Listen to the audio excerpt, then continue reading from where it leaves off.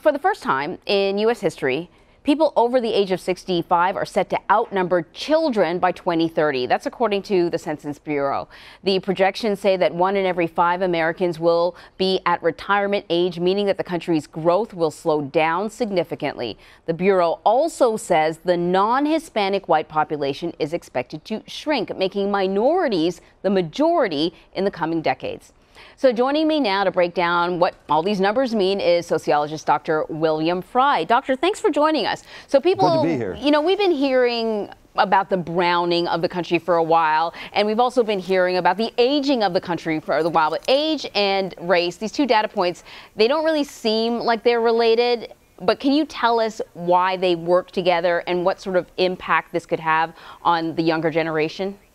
Sure. I mean, as you mentioned, uh, we're getting older. There's no question about that. And the big reason we're getting older is that people like me, baby boomers, uh, are moving into the 65 and over age group. So that, that old age group, the 65 and over age group, is going to increase by 40% in the next 12 years as all the baby boomers turn age 65 and over.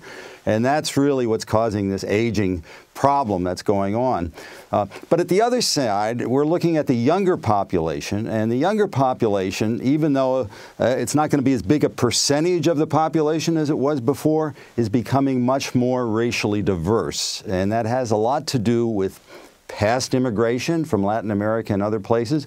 But today, most of the growth of that uh, diverse younger population has to do with births to people who are already here. And we should be so glad about that because uh, this older age, pop, older age population, which is growing so dramatically, is going to have to depend on the productivity, the labor force commitment, and all of that aspect of the younger population, which is going to be increasingly diverse as we move forward. It's kind of a, a co-generational dependency, I like to call it. This older white pop, largely white population is going to be dependent on this very diverse younger population uh, to contribute to Social Security, to contribute to Medicare.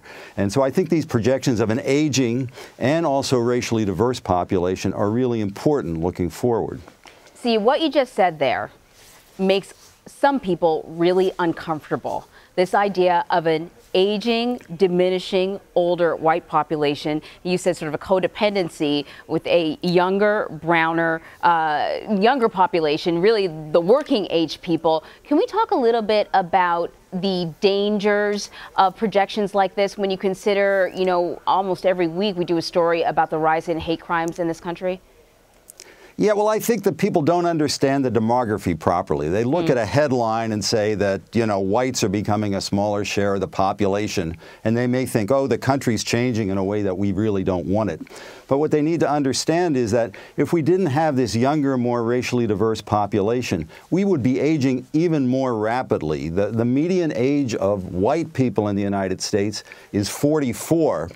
Uh, the median age of Latino people in the United States is 29.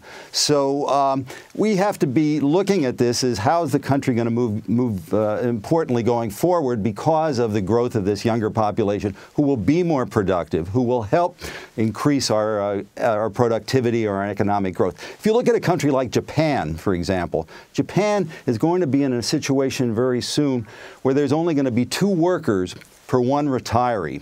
And the reason that that has such a small ratio of the working age population to the retired population is because they didn't have very much immigration for the last several decades.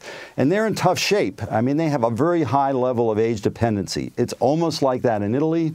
It's almost like that in Germany. But we don't have that problem as much here because we have the growth of this younger, more diverse population who came from other parts of the world whose age structures are a lot younger than ours. So I think if people understand that, it's really important for us to have this younger growing population to be able to support the older population, irrespective of the color of the people that mm -hmm. are mm-hmm. involved. And I think, you know, people do get that, but for some people, the concern when you talk about the countries changing, uh, the concern is also uh, political. Um, that when you have a, a, different looking group of people voting, more of them voting, you're going to have a different looking government. Um, we've got, uh, you know, when we look at the midterm elections, we saw sort of a, a little a wave. We saw women, we saw African Americans. We're still sort of in a time where we're talking about the first black person to or the first Hispanic person to. But do you see a time in the near future when this won't be a conversation, when a, a, a very diverse government will be something that we take for granted? Well, you know, I always say that uh, politicians are the best demographers. They know where to count the people, they know where to count the votes. So I think people of both major parties and third parties are going to understand this changing demography and are going to try to incorporate all of these new voices, all of these new issues into their agenda. It may be a little bit difficult right now, as you say. There's a little bit of this split, you know, one part of America, sort of older, whiter, rural versus an urban, more uh, uh, diverse population. But I think as, as more of these young people move into these middle ages, which we're going to see really with the millennial population, who is quite, which is quite a diverse population all over the country, that the politics will follow that. And uh, it may be a little rough for the next couple of elections, but uh, the demography will win out overall. Dr. William Frey, thanks a lot. Sure.